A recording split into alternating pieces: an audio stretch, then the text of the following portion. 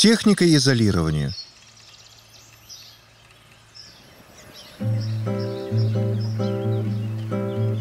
Каждый раз, когда существует риск перекрестного опыления между разными растениями одного вида, нужно изолировать их.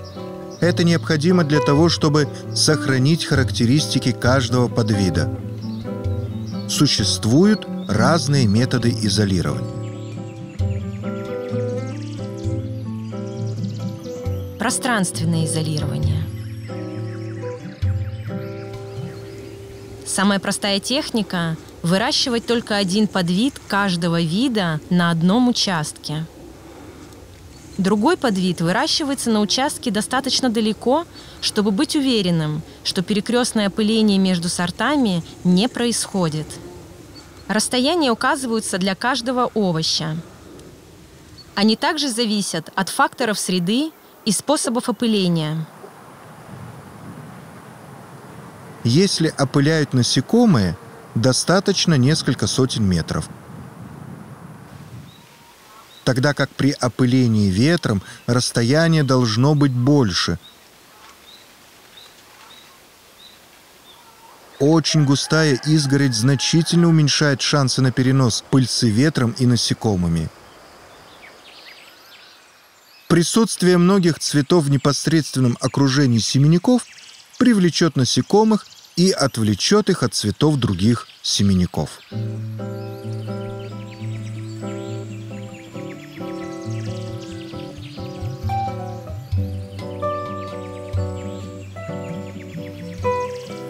Временное изолирование.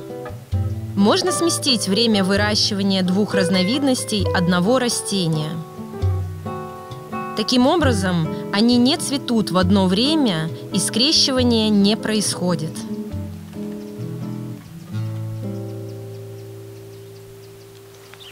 Например, можно выращивать на одном участке две разновидности салата, но сеять их в разное время. Таким образом, когда один вид будет свести, другой только начнет расти. Для этого нужно знать цикл растения – и продолжительность периода цветения. Механическое изолирование. Москитная сетка считается отличным способом обезопасить семена. Это тонкая вуаль, которая выбирается зависимо от вида насекомых и цели, чтобы не позволять насекомым проникнуть внутрь или же наоборот, удерживать их там – эти сетки могут использоваться по-разному. Во-первых, можно изолировать один цветок гермафродит, который самоопыляется. Этот способ дает очень мало семян. Для этого нужно обмотать еще не раскрывшийся цветок сеточкой так, чтобы ни одно насекомое не пробралось внутрь. Затем нужно убрать сетку – для того, чтобы плод смог вырасти. Важно не забыть подписать растения семенники.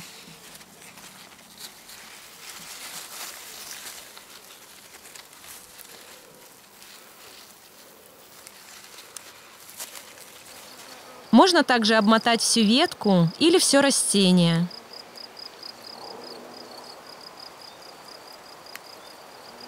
Сначала нужно убрать уже открытые цветки, которые могут быть уже опыленными насекомыми.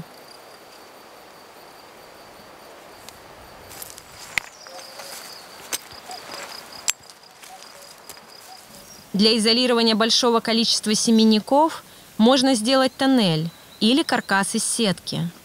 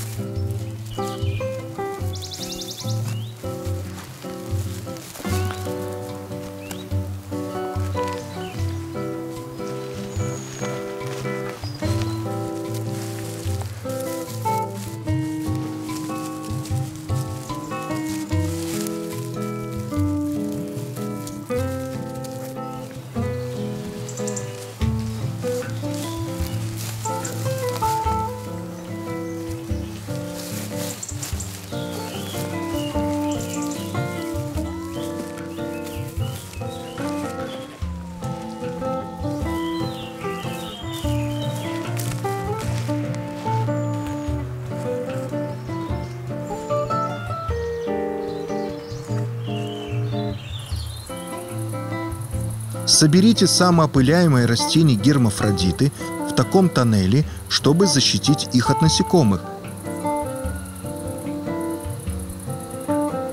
Для аллогамных растений, которые нуждаются в насекомых, для опыления нужно поставить в тоннель небольшой пчелиный улей. Насекомые будут опылять цветки внутри. Очевидно, что в одном тоннеле можно выращивать только один подвид растений. Чтобы расходы на ули окупились, желательно иметь большой тоннель со многими семенными растениями. Возможно также выращивать на одном участке две разновидности одного вида аллогамных растений.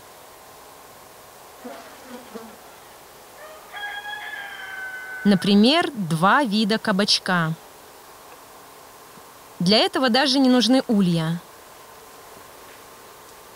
Подвиды высаживаются в разных тоннелях с сеткой, которая открывается поочередно, раз в два дня. То есть в день, когда открыт один тоннель, другой остается закрытым. На следующий день открывается второй тоннель.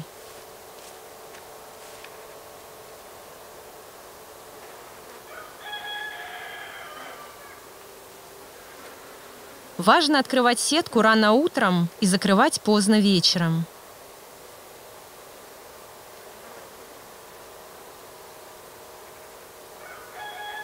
Однако количество опыленных растений с этой методикой не очень большое, как и урожай.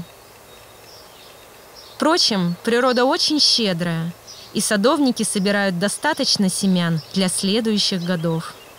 thank you